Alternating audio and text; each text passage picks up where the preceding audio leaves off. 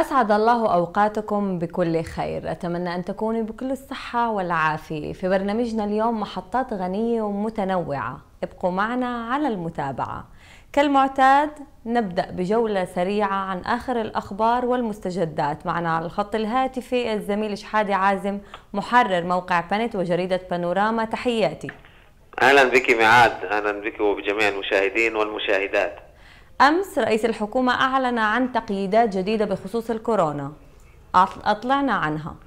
صحيح بسبب ارتفاع عدد الإصابات بالكورونا كان هناك اجتماع يوم أمس لما يسمى المجلس الوزاري المصغر لشؤون الكورونا كابينات الكورونا ورئيس الحكومة بنيامين نتنياهو أعلن ما توصل إليه المجلس المصغر المجلس الحكومي المصغر وهو تقليص التجمع في القاعات حتى 50 شخصا والتجمهر حتى 20 شخصا.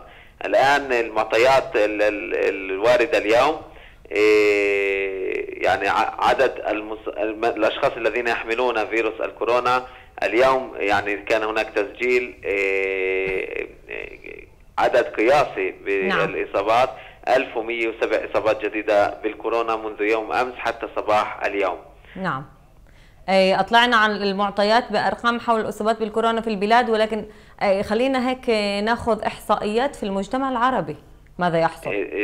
هناك تحدثنا أمس عن الارتفاع عن عن أكثر من ألف حالة نشطة بإصابات الكورونا في المجتمع العربي. نعم. الهيئة العربية للطوارئ حذرت من إن الارتفاع يتزايد وأن الارتفاع مقلق خاصة بشكل خاص في منطقة النقب، اليوم كان هناك قبل البرنامج برنامجك على الموعد مع ميعاد كان هناك بث لخطبة الجمعة من مدينة أم الفحم نعم. الشيخ الدكتور مشهور فواز وهو يعني أحد القائمين على اللجنة الطبية المنبثقة عن مجلس الإفتاء وهذه اللجنة عقدت يوم أمس اجتماع وقال في خطبة الجمعة وقال أيضا أمس في الاجتماع بأنه الازدياد في الإصابات أو حالات الإصابة بالكورونا في المجتمع العربي مصدرها بشكل أساسي هو المناسبات والأفراح هل في تعليمات يعني تحد من موضوع المشاركة في هذه المناسبات؟ الآن التقييدات الجديدة هي حتى 50 شخص. لا أعتقد أن هناك في عرس في مجتمعنا العربي سواء في الجليل أو المثلث أو النقب ممكن أن يكون بمشاركة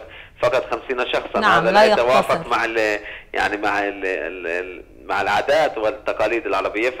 ونحن تحدثنا أن الكثير من العرسان والعائلات فضلت تأجيل الاحتفال بزفاف ابنها أو بنتها إلى موعد غير معلوم حاليا بسبب هذه التقييدات. هنالك حالات بأنه تم إجراء حفلات زفاف بمشاركة قليلة اقتصار على العائلة. ونحن نعم. رأينا يعني شباب عرسان وعرائس اللي أعلنوا يعني أن يتفهمهم الأقارب والأصدقاء بسبب الوضع الحالي. نعم الوضع وضع هيك نقول خاص.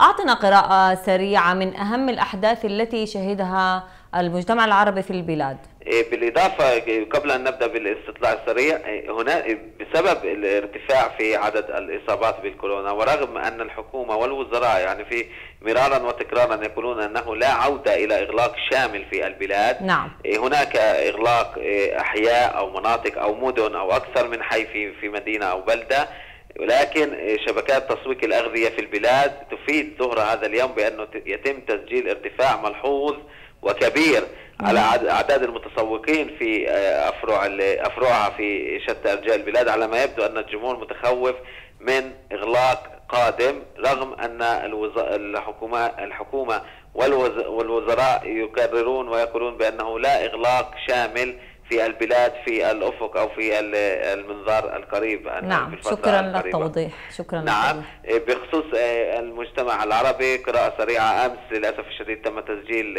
حالة قتل جريمة قتل في مدينة الطيبة. شابه في الأربعينات في بداية الأربعينات من عمرها أم لطفلة واحدة تعرضت للطعن ولقيت مصراعها على الفور.